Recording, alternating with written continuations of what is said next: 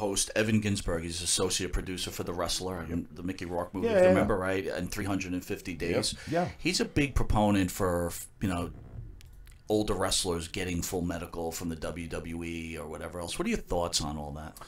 Well, did you hear? What's the show that you just heard? Uh, it was a late night. Uh, John Oliver. John Oliver, right? yeah, yeah, A lot of people, you know, as far as that industry, I'm sure WWE didn't like hearing all of that. Yeah, he launched of that missile right as WrestleMania was Yeah, approaching. as yeah. it was. I think be- I keep saying I think it was more of a Trump thing. I thought he had an opportunity hmm. because Linda was- was with Trump, right? Linda McMahon. Mm-hmm. Right. I don't even think it was a WWE thing. I think it was more another shot hmm. at Donald Trump, right? Because of the association. between the association. yeah. Yeah. it could have been. But uh, again, a lot of things they're talking about there. Let me give you a perfect example.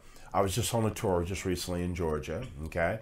And the guy who I actually ended up going with was Brian Blair. We're going to do TV for a company in Georgia. But the person we had, we had to go pick up was Paul Orndorff. Okay, here's a WWE Hall of Famer. Mm-hmm. Now he's not doing good, dementia. So, but I looked at his life too.